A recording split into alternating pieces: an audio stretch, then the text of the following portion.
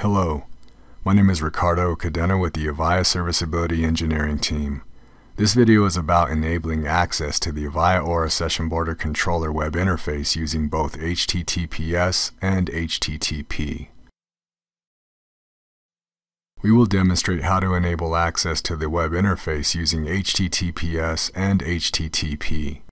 This is actually accomplished by enabling the redirection of port 80 to port 443.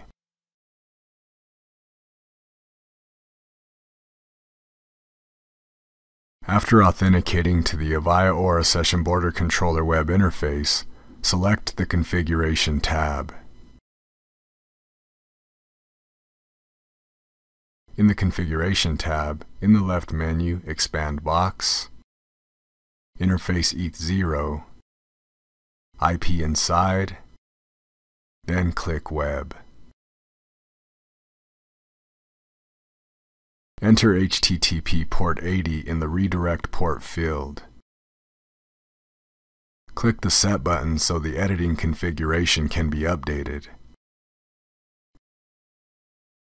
To update the live and saved configuration, perform a configuration update and save.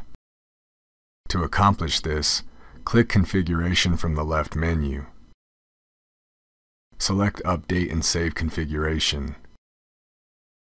Click OK to update the live configuration. Then click OK to save the live configuration. You will now be able to access the web interface by specifying HTTPS or HTTP.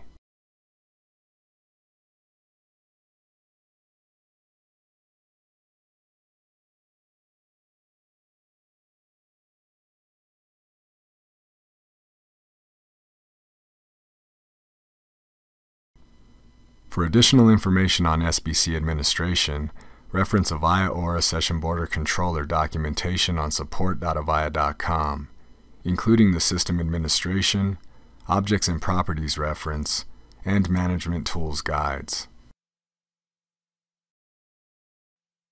Thank you for your time today.